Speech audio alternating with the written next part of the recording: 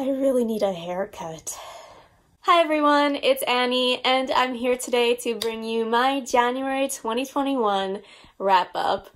I read 24 books this month. Pretty good. Towards the end of the month, I kind of went downhill and didn't read as much, but it's a stressful time. and I think I read a pretty good variety of books this month. I'm pretty excited. So without further ado, let's get into it. So let's start off with the regular books that I read this month. One is sadly not a well rated book, by me at least. It is A Curse of Roses by Diana Pinguicha. I was really excited about this and I am very disappointed. It sounds amazing. It, the concept of a princess in Portugal who can't eat anything because food turns into flowers for her because of her curse and she has to kiss a girl somewhere to break this curse sounds great, doesn't it?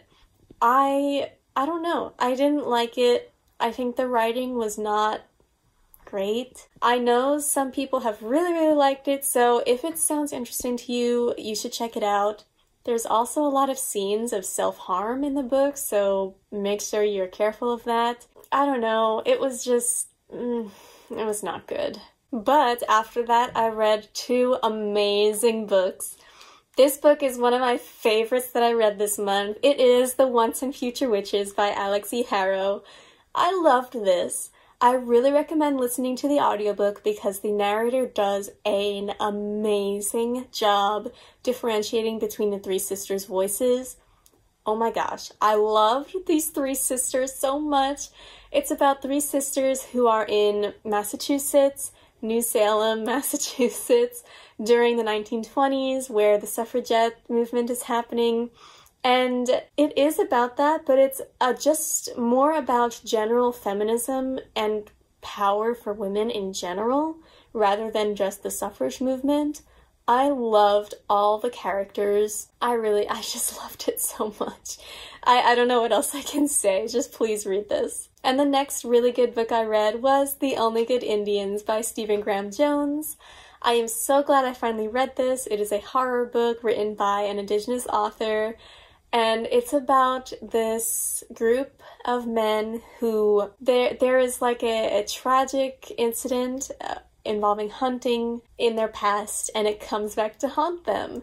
And it's really really good. It's really well written. I mean stephen graham jones is just a master author. I love his work so, yes, I really recommend it if you haven't already read it. And this month, I also ended up reading books 2, 3, and 4 of the Murderbot Diaries series. I really, really liked them. They were all four stars for me.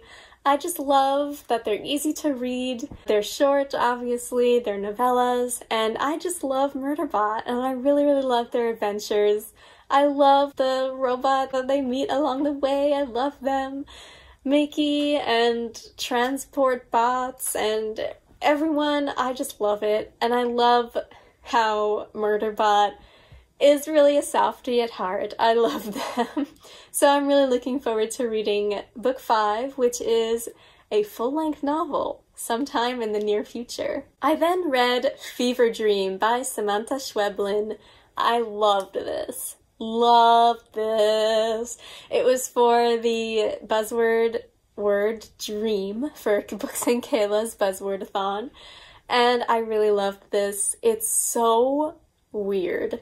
It is really suspenseful, really keeps you on your toes. I read it so fast because I really wanted to know what what was going on. Like what is happening in this book? It is so weird. I'm not going to tell you what it's about because it's just so weird and I went into it knowing nothing, so I think you should too. I just highly recommend it. It's also really short, so it's a quick read that I really recommend. Then I read Sadie by Courtney Summers. That is a five star book. Gosh, I just loved this. Of course, I listened to the audiobook because it's consistently recommended as the audiobook version because of the podcast element of the story The audiobook really does an amazing job. That recommendation is correct. Basically, the story is about a girl named Sadie who goes to look for her younger sister's murderer. There's so much more to the story than that, but then this podcaster is told by Sadie's grandmother that she wants to find her, and the police can't find her, so this podcast guy goes out and interviews people and tries to find Sadie. Oh my god, we need more books like this. This book was breathtaking. It was amazing. Oh my god, I loved it so much. Very, very suspenseful. It felt very real. Sadie's struggle and her personality, her reactions to everything feel so real and uh, if you haven't read this yet, please read it. then I read The Girl in the Tower, the second book of the Winter Night trilogy. I liked this book better than the first one. because uh, the main character's older sister, Olga, is a more prominent character in this second book, and I really like her character. And also, the main character, Vasilisa, yes, that's her name, her stepmom is not in this book, and I hated her stepmom. So yeah, I really enjoyed this book much better. It was more fast paced, and I'm looking forward to reading the third one in February. Alright, three more books. Next I read Watch Over Me by Nina LaCour. I loved it. Five stars. Oh my god. It was so beautiful. Such a beautiful exploration of trauma. I absolutely adored the found family aspect of it. I mean, literally, the main character is a foster child after a really, really tragic and traumatic incident in her past. Oh my gosh, I loved it so, so much. I picked it up for the Scooby Doo readathon for the ghost story prompt. Oh my god, I loved the aspect of the ghost in this book. Ah, oh, I loved it. It was really, really good. It's another short read, so you have the time. I know you do. People are on lockdown. Pick up this book. It's so good. Next, I read One of Us is Lying by Karen McManus. I did not like this book. I'm sorry. I know it's really popular. I wanted to like it. I thought after reading Sadie that I was like, ooh, maybe I really like YA thrillers. Maybe that's like my new genre that I like. But maybe not, actually. this book was bad. It was not it was not good. Oh, I hated the characters. I hated all of them. Except Cooper. Cooper was fine for various reasons. Um, I'm not gonna give anything away, but just the representation of depression in this was absolutely dismal. Like, it was not good at all. I hated the ending. I hated the relationships. I hated it. I did not like this book. And the last new book, well, the last new book for me that I read was Burial Rites by Hannah Kent. Yay, I finally read this. This has been in my TBR since 2013 when it came out. it's about a woman in rural Iceland who is convicted of murdering someone. I'm not going to give it away. And she didn't do it, obviously. Uh, that's her story. But she is brought to this farm out in the middle of nowhere where she's waiting for her death, for her execution. And this book was beautifully written. Really, really liked it. However, if you're feeling sad, I really don't recommend you pick up this book right away because this book is very depressing, very bleak, very, very sad. There is not a bright spot in this book. I really loved it. That's the only caveat I have with it. At times, it was just like, even though I loved it and I loved how the writing was, I loved the characters, at times I just didn't want to even read it anymore because it was so depressing, so just be warned about that. So let's talk about the nonfiction books I read this month. First, I read Radical Kindness by Angela Santomero. It was fine. I think I gave it two stars actually. It was super short, and honestly, I picked it just because my library on Libby was like encouraging people to read it. There was nothing new in it, no new information. I picked it up because I believe she's the creator of Blues Clues, which is really interesting. And also, she was kind of mentored by Mr. Rogers. So I was interested in that. I've read a couple books about Mr. Rogers and I was just interested in her thoughts, but Unfortunately, it just wasn't really enjoyable because, like I said, there was no new information, at least for someone who has read a lot of self help. It just basically tells you to be kind and people will be kind back, which is, you know, it's a nice thought, but doesn't always happen. so, yeah. The next nonfiction I read was Dead Mountain, and I gave this five stars. It's the story of the tragedy of the Dyatlov Pass in Russia. This incident, a lot of people are kind of obsessed with because it's a mystery.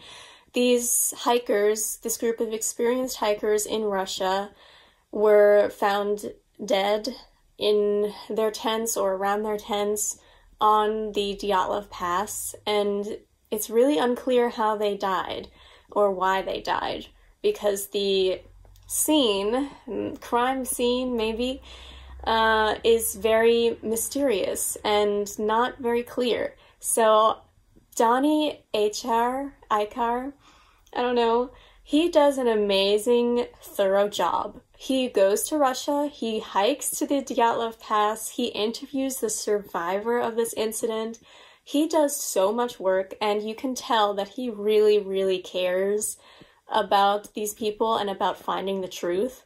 So I really, really enjoyed this, and I also recommend reading the audiobook because the author narrates it. The next nonfiction I read as part of a Scooby Doo readathon, and it is The Cooking Gene by Michael Twitty. This was a really enjoyable book. I think I gave it 4 or 4.5 stars.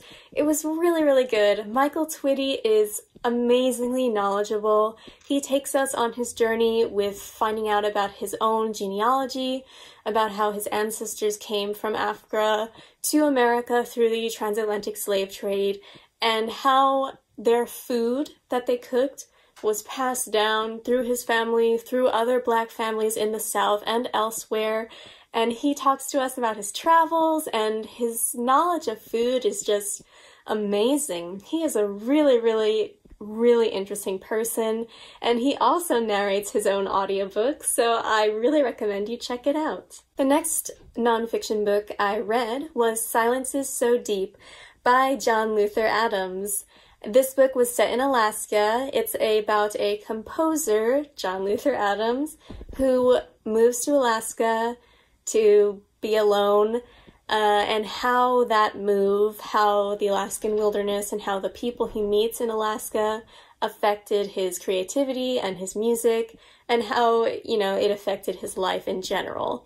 I am really, really interested in books about Alaska, and this book just was super interesting to me. It was okay. It was three stars for me. I really enjoyed the Alaskan part of it, but I didn't enjoy so much the musical composition part because I didn't really expect him to go quite as in depth as he did. Like he really went in depth about how he composes music, which is not really something I'm interested in. I can't I can't play any instrument. I guess I should have expected that though, given the uh, subject of the book. But all in all, you know, I enjoyed it. If you're interested in reading more about Alaska, I definitely recommend you check it out. And I really loved reading about his relationships with the people he meets in Alaska, too. That was a really nice part of the book. The next nonfiction book I read was also an ARC. It is Oliver by Stephen Carino. I picked this book up on a whim from NetGalley. It was fine. It was about three stars. Again, I picked it up because the dog is cute. And also, the author was from Long Island, where I'm from, so that was really interesting. And I listened to the audiobook, so I got to hear his Long Island accent the whole time, which was like a taste of home because I'm obvi- I'm not home right now. I'm in Japan. So it was nice to listen to. I didn't really expect all the religious talk in the book. I kind of just expected it to be about him finding his lost dog. Because that's what the synopsis is about. So I was kind of iffy on that. And also, he talks a lot about his abusive father, which I also wasn't expecting and didn't really want to read about. It's also part memoir, I get that. It's just about personal enjoyment for me, and this book was, at least I thought, going to be like a really, really feel good book about a dog, and it was like half of it. So, yeah. Alright, so let's talk about some of the other arcs I read. I also read Ariadne by Jennifer Saint. I loved this book. I gave it five stars. I don't want to talk too much about it because I already filmed and edited and everything a full review of it, spoiler free review, that will be out closer to the release date, which is April 29th, I believe, in the UK. And I loved this book. It's a retelling and kind of fleshing out of Ariadne's story. She is originally featured in the Theseus and the Minotaur myth, and I loved this book. I really, really love the new trend of retelling Greek mythology and other well known stories from the point of view of the women who are often overlooked in the original stories. And oh my gosh, I loved this book so much. Please read it. The next arc I read is The Membranes. This was originally published in the 90s. It's Taiwanese. It's from Taiwanese author and it's been translated into English very recently. It's a queer sci-fi slash speculative slash dystopian book. It's also very, very short, which I liked. Um, I did not like this. There was a really, really good concept, really, really good world building, kind of. It's hard to talk about without giving spoilers. But I really, really liked the concept. But there was just some very, very weird scenes in the book. Very weird sexual stuff that like I really really encourage you to check the content warnings for because I was just not expecting that at all and it was really disturbing. Uh, yeah, so I did not like this, unfortunately. Okay, two more arcs. The next one is The Project by Courtney Summers. I gave this book a 3.5. I absolutely loved Sadie, and I really wanted to read her new book that was coming out, and I'm so happy still that I got approved for this arc. But unfortunately, it just wasn't as good as Sadie. I mean, it's kind of hard to top Sadie, but I really, really loved the idea of trying to save this girl's sister from a cult, but I don't know, just the way that the cult, and especially the cult leader, was written didn't really work for me. And I felt like while I was reading it, I was waiting for something to happen. Like I was waiting for something more interesting to happen. I was waiting for something creepier to happen. And I mean, there are really creepy and disturbing parts of the book, but I don't know, maybe it was just the mindset I was in while I was reading it or something, but it just didn't have a big impact on me. I still liked it, I'm glad I read it, and if you're interested in cults, I do recommend that you read it. And the last arc that I read was Blue Bear Woman. I really liked this. This is translated from Quebecois French, and it's by a indigenous author from Quebec and it is really, really interesting. I gave it 4.5 because while I absolutely loved it, I thought the writing was gorgeous. I really, really liked the characters, but the ending was just bad, at least in my opinion. It was really, really abrupt and like, I don't know, it just, uh, I don't know, I didn't really like the ending at all. So that was unfortunate. But the rest of the book was still so beautiful that I gave it 4.5. So I really, really recommend that you read this. It isn't a memoir, it's like a magical realism slash fiction, literary fiction book about an indigenous woman who is coming into her own as a shaman and it's really, really beautifully written, so I highly recommend it. So now let's talk about the new releases that I read this month. First, I read Lore by Alexandra Bracken. Now, I found out by reading this that Alexandra Bracken is a really popular author, and I have never read anything by her. I really liked this. I gave it four stars. I wasn't sure what I was expecting. This book was really violent. It's really, really violent for a YA book. So just check the content warnings. Um, it was good. It was kind of a Greek mythology, Percy Jackson slash the Hunger Games type of deal. So every seven years, these gods come down and they are forced to be mortal. And there are these kind of clans of humans that have banded together over the years. And if they manage to kill these gods, they get their power and become the new god, like the new Athena, the new Artemis, the new whoever. It's a very interesting premise. Um, I really liked the characters except for the main character. Wasn't a big fan of her. I don't know. I didn't hate her. She was fine. But compared to the other characters in the book, I liked them better. Uh, I really recommend you read this. I really, really liked it. So, and it's very, very unique. I really liked its uniqueness. So, if you want a unique YA book, definitely check this out. The next new release I read was Remote Control by Nnedi Okorafor. I really liked this. It's another sci fi novella. So, it is about this girl named Fatima. And while she's a child, she finds this mysterious seed that ends up giving her this power to kill people without touching them or anything. It's very, very unique, very interesting idea. Uh, it takes place in Ghana, and I really loved it. I gave it four stars. I think the only complaint is that I wish it was longer.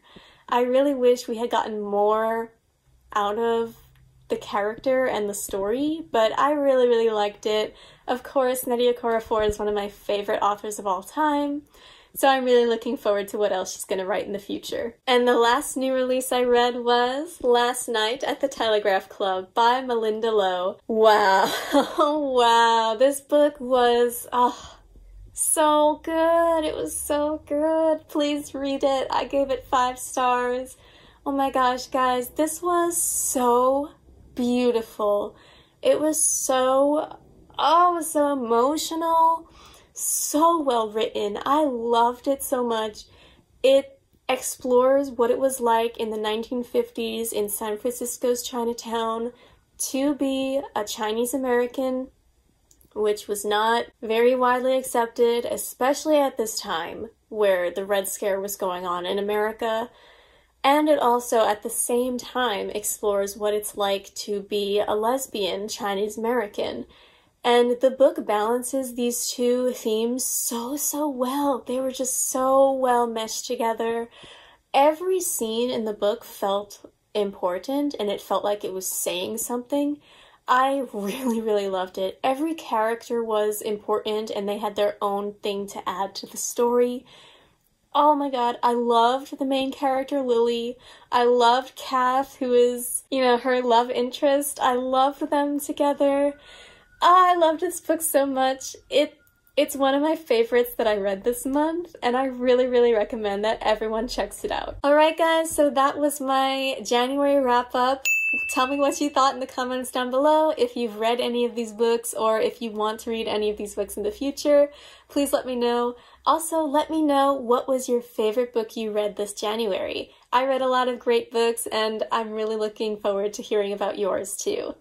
So if you liked this video, please don't forget to like and subscribe to my channel for more bookish videos every Wednesday and Saturday. And I'll see you next time. Bye!